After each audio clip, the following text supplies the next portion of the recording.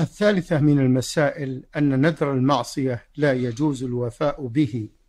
لقوله صلى الله عليه وسلم ومن نذر أن يعصي الله فلا يعصه أيا كان هذا النذر ما دام أنه نذر معصية سواء كان شركا أو معصية دون الشرك فإنه لا يجوز الوفاء به.